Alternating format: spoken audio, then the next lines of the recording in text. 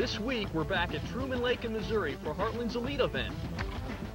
I'll go. The best in the Midwest are angling for big purses on one of the nation's legendary bass fisheries. Don't go away. Big bass and big fun are coming up. At Coop.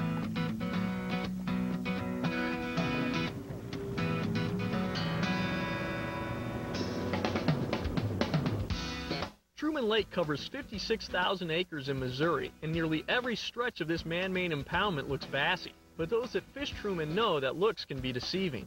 Not every piece of cover here holds bass, so an angler must spend a lot of time looking for just the right area holding fish. And when you have a lake as big as Truman, finding just the right spot can be a daunting task. We're here on Truman in late May for Heartland Tournament Association's Elite event. This tournament allows anglers to fish by themselves without an amateur partner. Not having a partner in the boat allows anglers to better concentrate on their fishing and gives them more freedom to try different locations. Increased payouts are another feature of the Elite Series and have helped to make it popular among Midwest bass fishermen. Our cameras will be rolling on four Truman Lake fishing experts for this event. Our four include Danny Burns of Ozark, Missouri, Mike Utzler of Springfield, Missouri, Jerry Pape of Lake Quivira, Kansas, and Junior Shin of Quincy, Missouri.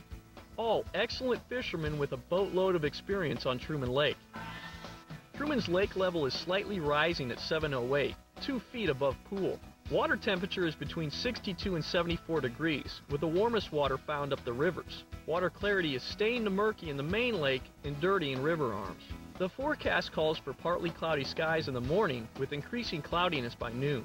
Temperatures are expected into the 80s by weigh-in. Danny Burns shares his game plan for the day. Uh, basically, I'm going to be fishing for post-spawn fish. Uh, most of the fish on the lake have post-spawn. I've heard there's a few that haven't, uh, but the fish, the water's kind of colored, and uh, the fish spawned really shallow. Uh, the water's been coming up and down, so that's kind of messed them up a little bit. But the fish I'm finding are in four to eight feet of water, and uh, I'll cover that area a lot. I won't pitch to the bank per se, but I'll go to spawning areas where the bass have spawned, and I'll try to see where they've, uh, the post-spawn bigger fish have come out and stayed. We find Danny Burns near Long Shoal Marina. He's pitching a red shad yum hoo daddy on a modified split shot rig to pole timber. His rig consists of a peg quarter ounce weight, 18 inch leader, and a 4 offset hook. He's using 15 pound fluorocarbon line. There he is. Good fish. Good fish. Come on, baby. Come on, baby. Good fish here. Good fish. Come on. Stay hooked. Yeah. There it is. First one. Thank you. We're going to blow out of here a little bit.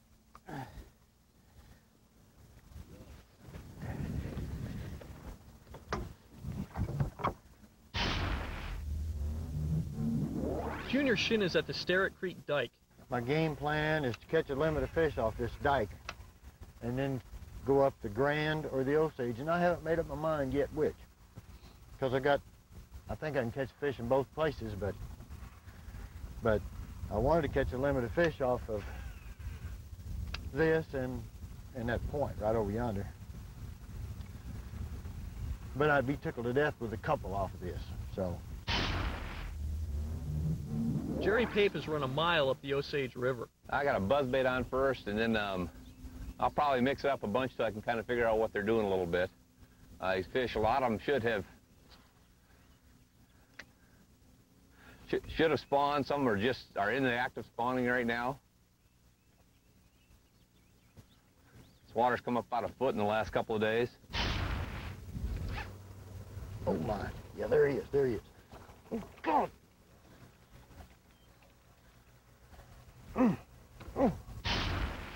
Areas like this right here, where you don't see many trees, a lot of people will skip over them. They're wanting to pitch the trees. At one time, there was as many trees here as there was anywhere, and there's stumps under there. And a lot of times, this will be one of your most productive areas. You can fish some stumps where that's not visual to everybody else. Mike Utzler starts off throwing a buzzbait in Long Shoal. He's already got his first keeper in the boat. There you are, little buddy. Make your boat safe and comfortable.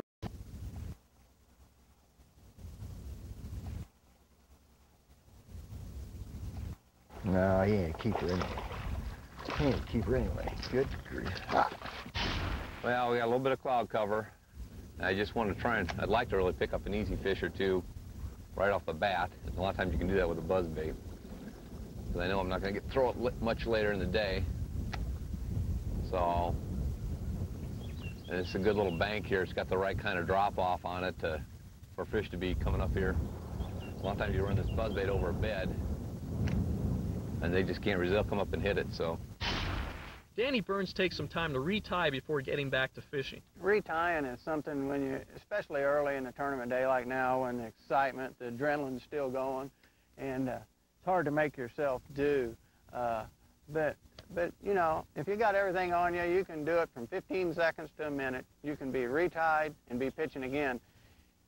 And when the bites are few and far between, that's not much to make sure you land your fish. I mean, you hook a hook a good solid fish and and he breaks you off, you'll be sick about it, and it'll it'll affect your whole fishing day. The rest of the day, you'll be, if you don't come back from it, you'll be not near as productive as you would have been if you'd just retied.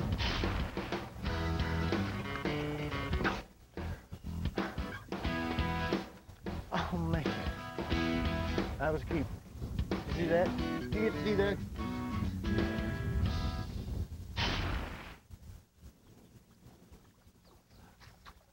like that. Should have hit a little bit better, though. With the sun climbing higher in the sky, Jerry Pape begins pitching a Texas rig lizard.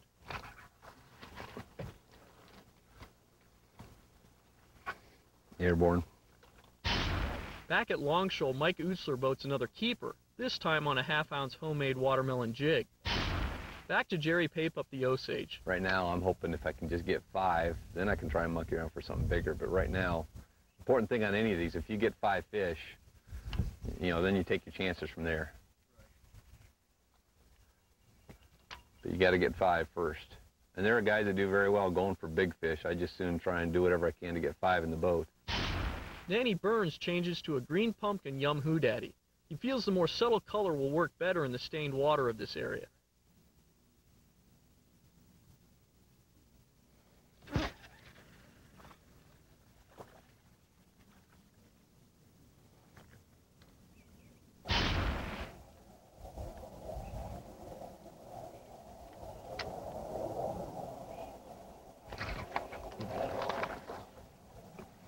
That could hurt.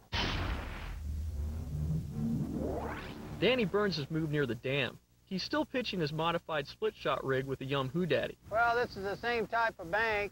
Uh, it's, a, it's a main lake bank with a channel. It's a little different, but it's got the same type of depth to it. I'm going to stay in that six, six and seven foot range, and I'm going to go down through here, and I'm trying to catch some post spawners. And uh, this bank will not get near the pressure where we just came from. So I'm just hoping that I can get up here and pick a couple off. And I know it's, it's windy, it's a lot windier out here, but it's going to get a lot more windy in the next couple hours. So if, I, if I'm going to do it, I got to do it now. Ah. Well, that's the mistake you make. Get distracted thinking about other things. Get a good fish swimming off with it, and you set the hook and you miss him. Just enough to burn him.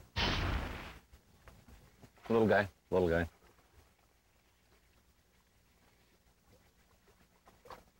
a little Kentucky. Come on.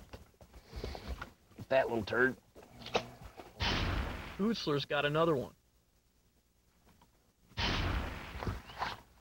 Doggone it. Pape's having trouble up the Osage.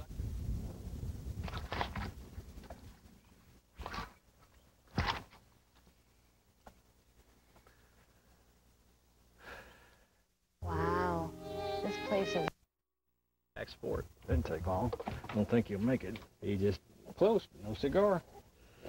Nice little fat fishy. Back to Danny Burns near the dam. On a day like today, you know, all the boats was around is where we started, and uh, so we left. And then you go to your second bank and the wind's blowing on it, you get to the third bunch of trees you want to fish and there's three boats there. And so you try to switch up, and that's what I'm doing now. But it's not working, so if it doesn't work, I'll just get right back in there and fish with everybody and try to catch them. That's all I can do. Junior Shin has moved to Happy Hollow. Holy. Lord. Come here. All right. Okay. Good Lord. Finally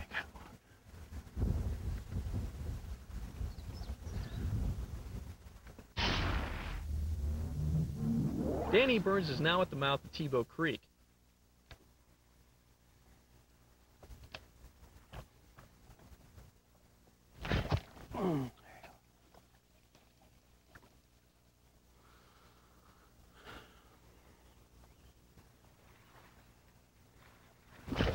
Come on.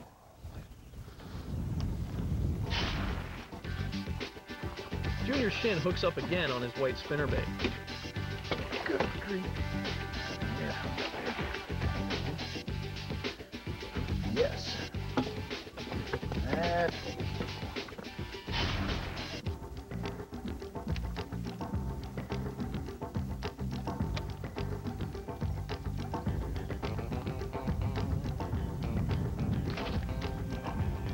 Another fishless hook set at Tebo Creek. Jerry Pape's not faring any better in the Osage. Danny Burns has moved to the Grand River arm a mile from takeoff.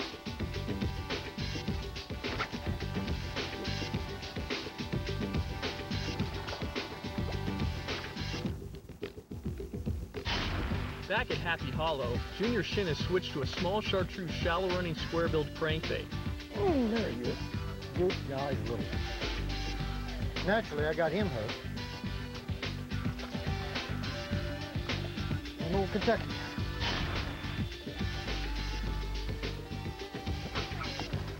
Little guy. Pape's still having difficulty locating a keeper. Junior Shin moves back to Sterrett Creek to fish the dike. He's again fishing his chartreuse baby minus one crankbait. Oh, that one's a good one, too.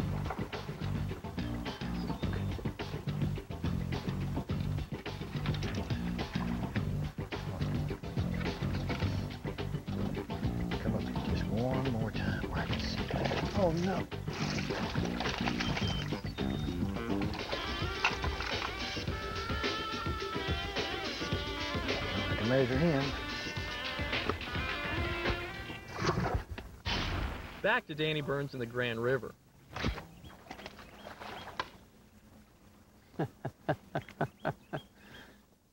Some fish are in them bushes. We'll catch one right up here, you know what?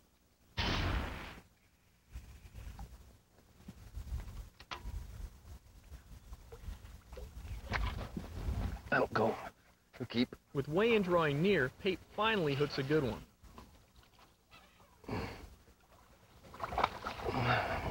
Him in. Thank you, Lord. I don't even think we need to do anything. Boys post spawn though. Look at look at the belly on him. I mean, post spawn. That's what's making it tough. All right. Shin's got another one in Sterrett Creek. He ain't very big, but he'll keep if I could get him over here. Good grief, come here.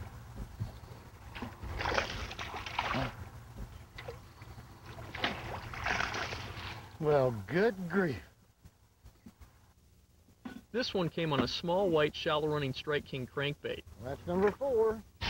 After losing the fish from a flooded bush, Danny Burns decides to target this type of cover instead of the deeper pole timber.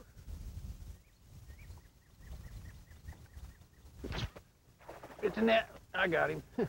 oh, baby. Come here, come here, come here, come here. Where's my net?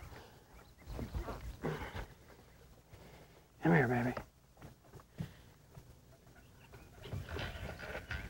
Uh-oh.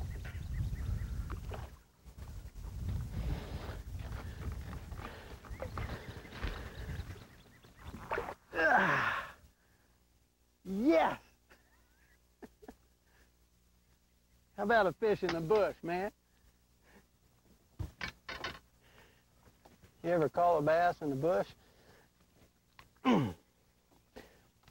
I got my pliers. That, fish will weigh four pounds, he?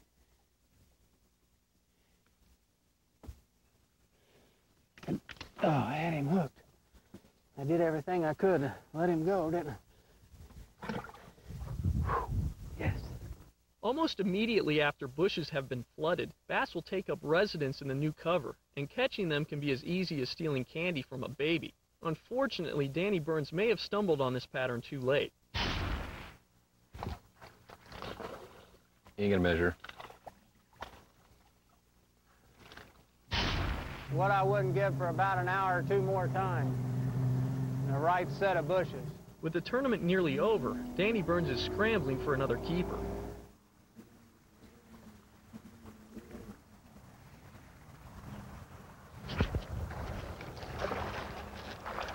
But this one won't cut it.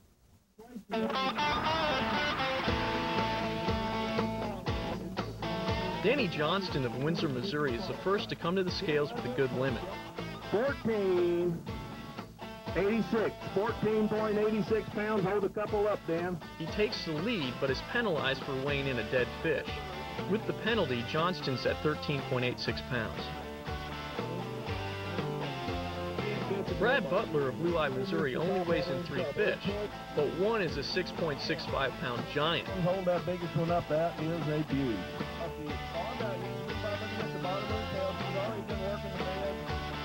Larry Igedy of Warsaw, Missouri is five good fish and could bump Danny Johnston from the lead. 13, 90, 2, 13.92 pounds, new leader. Igedy barely bumps out the leader with 13.92 pounds.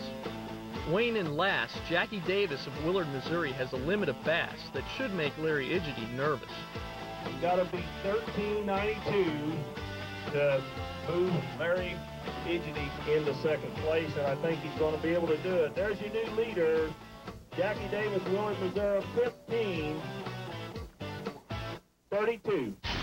The winner of the 2004 Heartland Elite event on Truman Lake is Jackie Davis with 15.32 pounds.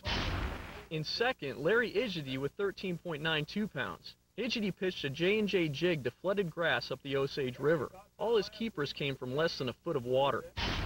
Third goes to Danny Johnston with 13.86 pounds. Johnston fished flats with pole timber in 8 to 15 feet of water. His bait of choice was a 10-inch plum Berkley power worm. Big bass honors go to Brad Butler with a 6.65 pound largemouth. Butler caught the bass on a green pumpkin Chomper's Techno tube. Here's the best of the rest.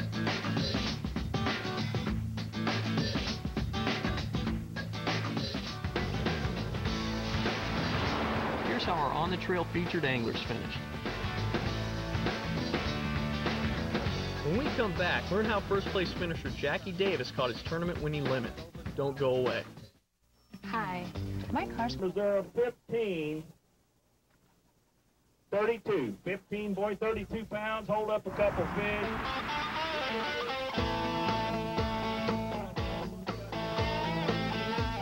Jackie Davis won the 2004 Heartland Elite Tournament on Truman Lake by casting a black 3 8 ounce buzzbait with gold blades in 1 to 3 feet of water near Long Shoal. He shares a tip on how he modifies a buzzbait to increase hookups. Something special I do to my buzzbait uh, was to put a little kink in it. I, I made the, the wire, I bent it so the buzzbait will ride just a little bit. Now it's probably going to be about a half an inch deeper. The body runs in the water when you're cranking it in.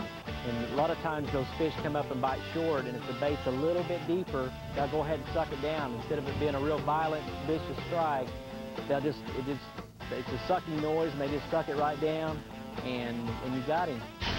Next week, area. we're at Table Rock Lake for more Heartland Tournament action. More bass fishing tips and techniques, plus some exciting fish catches are in store. You'd be crazy to miss it.